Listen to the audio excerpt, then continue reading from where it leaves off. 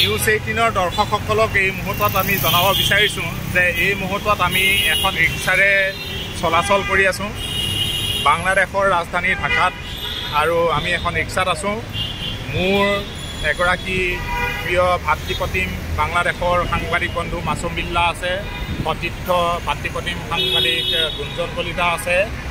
যে এখন ৰিক্সাৰে আমি এই মুহূৰ্তত নিশাৰ ভাগত বাংলাদেশৰ সময়সূচী মতে এই মুহূৰ্তত প্ৰায় দহ বাজিবলৈ হৈছে নিশা আৰু আমি ৰিক্সাৰে গৈ আছোঁ। আৰু ৰিক্সাত বাংলাদেশৰ ৰাজধানী ঢাকাত পৰিভ্ৰমণ কৰাটোৰ এক আমেজ সুকীয়া। আচলতে এই ৰিক্সাৰ পৰিবহণ ব্যৱস্থাটো মাছুম বিল্লাৰ পৰা জানিব বিচাৰিছোঁ। কেনেকুৱা? ৰিক্সাটো হ'ল ঢাকাৰ ফুৰিবৰ কাৰণে ঢাকাৰ মানে মুখ কৰাৰ কাৰণে আটাইতকৈ ভাল পৰিবহণ।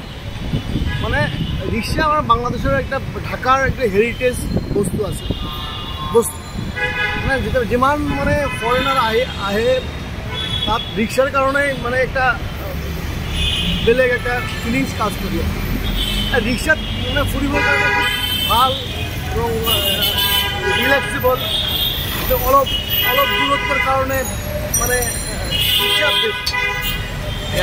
অলপ পয়সা লাগে অলপ পয়সা লাগে। বাট অলপ অলপ দূৰত্ব ভাল ৰিক্সা তো rickshaw is best in Dhaka কিন্তু ইয়াৰ মাজতে মই দেখাই ল'ব বিচাৰিছোঁ যে ঢাকাৰ পৰিৱেশটো ৰিক্সাৰে কেনেকৈ যাব পাৰি।